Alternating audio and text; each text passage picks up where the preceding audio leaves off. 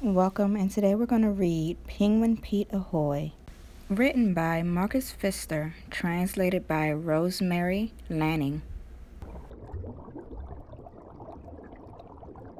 Penguin Pete woke up one bright sunny morning and said to himself, This feels like a good day to go exploring. He plunged straight into the sea and swam quickly past all the friendly fish.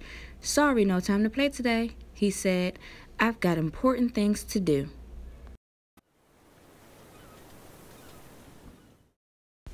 Before long, Pete found something really interesting to explore.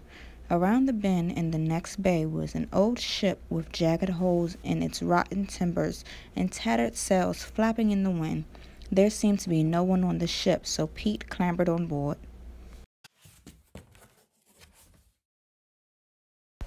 What a mess, gasped Pete, looking at all the crates, barrels, ropes, and broken planks scattered across the deck. A sudden rustling noise startled him. It seemed to come from under an old sack. Pete waddled quietly over to the sack and pulled it into the air. Cowering underneath was a little gray mouse. Hello, said Pete. I'm sorry if I frightened you, but I was a bit scared myself. I didn't think there was anyone on this ship. There's only me, said the little creature, and I wasn't really frightened. The mouse stood up straight and saluted smartly. I'm Horatio, the ship's mouse, he announced. Welcome aboard. Nice to meet you, Horatio. I'm Penguin Pete. Let's be friends. All right, said Horatio. Come on, I'll show you my ship. Pete liked the storm room best of all. Some of the boxes and packages were broken open, and Pete had never seen so many good things to eat. Does all this really belong to you? asked Pete, licking his beak. It certainly does, said Horatio with pride. Help yourself. Let's go back on deck, said Pete, when he was too full to eat any more.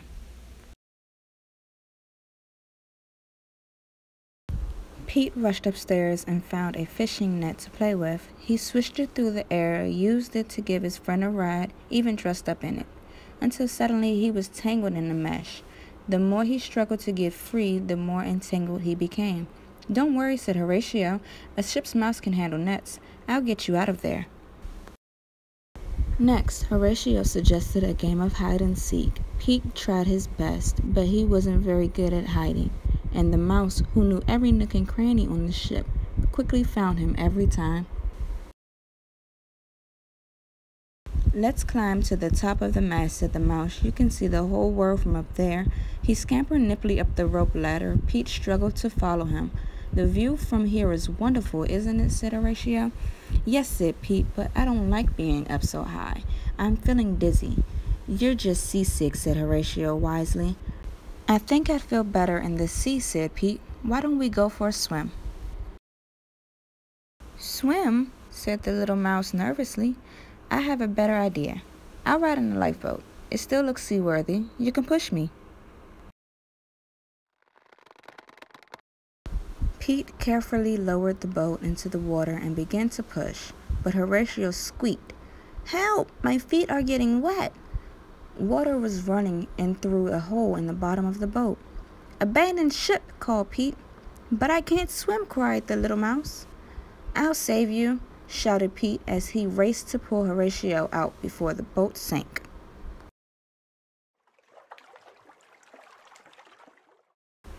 Climb on my back, said Pete. You'll be all right. He carried his little friend back to the ship and wrapped him in a blanket. The mouse was still trembling with fright. I think I'll stay on the ship from now on, he said, but I hope you'll come to visit me again.